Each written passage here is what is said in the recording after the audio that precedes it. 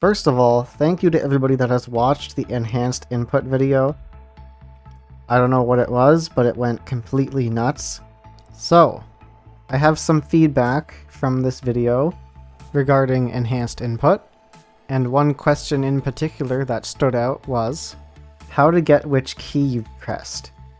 Okay, so we have our basic movement here, and as you can see, there's no pin for the key being pressed, like this one up here. If you're using enhanced input and you want the key output, there's a few extra steps you have to take, but it is possible. So create a new function.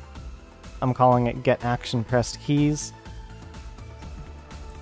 Uh, start with adding an input, call it action, and set the type to input action. That'll be here. Then you can right click and sorry, query keys mapped to action. That's what it's called. Then plug in action to the action. And the target will be the subsystem for, uh, for enhanced input. Which means we have to get controller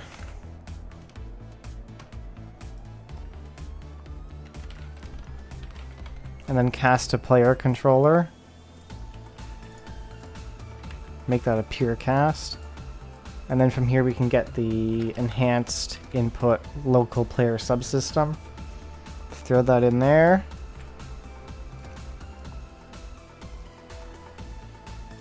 Okay, so let's say we have movement action here.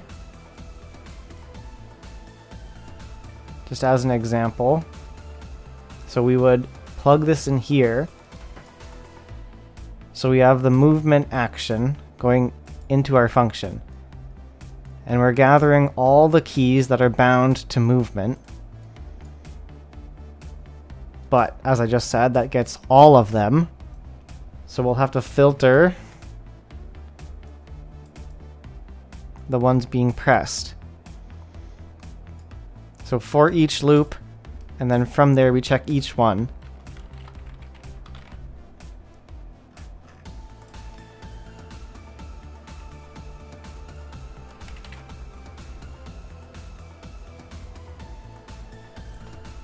Okay, that's it. Is input key down?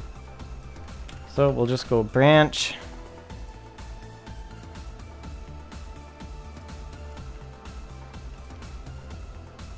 Now the next step depends on how you want this function to operate. For me, I want it to return the entire array of all the pressed keys if there happens to be two or more. If you know for sure that there will only be one key pressed at a time, you could, after true,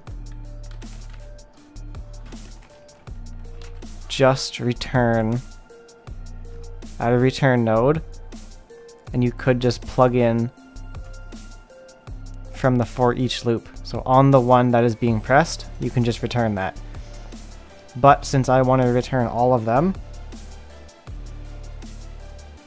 I will add a local variable down here. So that's where it would be. I already have it pressed keys.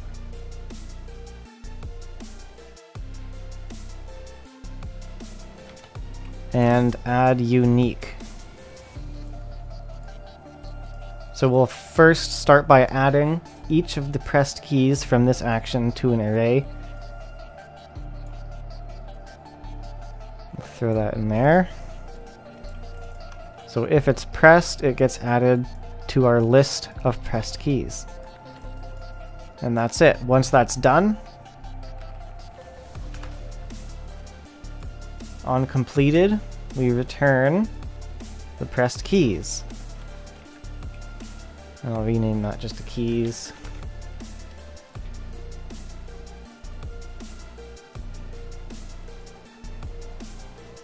Gotta plug this into player controller, of course. And just to make sure this is working, I'll get the display name of the key and then print string.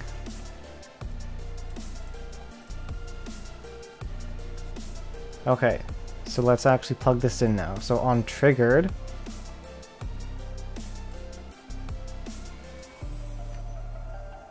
So since we have the print string already in there, it should work just like that.